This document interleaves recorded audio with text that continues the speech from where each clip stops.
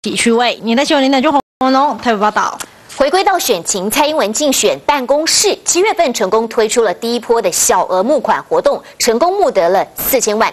现在再接再厉，准备要再推出第二波的募款。募款开跑之前，先印了五十万本的真实蔡英文小手册，试图用手册当中的十二个小故事来感动支持者。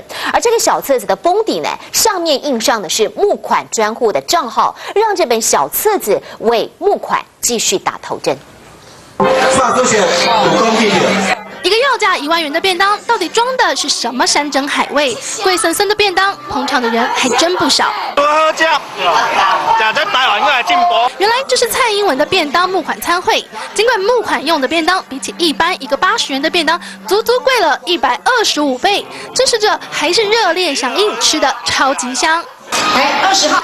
支持者捐出政治现金的招数还不止卖便当，蔡英文办公室打出，只要捐款就可以和蔡英文合照。但这合照的支持者多到要排队。蔡英文的第一波募款活动宣告成功，转眼四千万进账。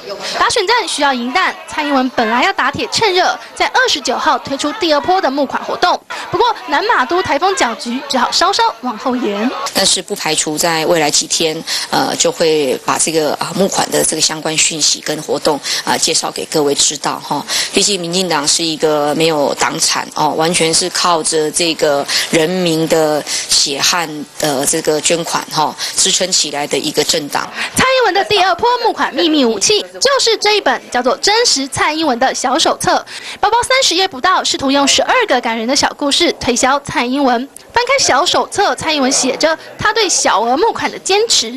蔡英文说：“小额募款不是小钱，而是来自土地，代表正义。我们是人民用小额捐款支持的政党，也是人民用选票支持的政党。”最后才发现，这本小手册的重点其实印在封底，小额募款邮政划拨专户的账号，通通写得好清楚。只是民众看了这本小册子，会不会感动到愿意掏钱捐款？蔡英文还要支持者拭目以待。南新闻侯庆玲、吴永安台北报道。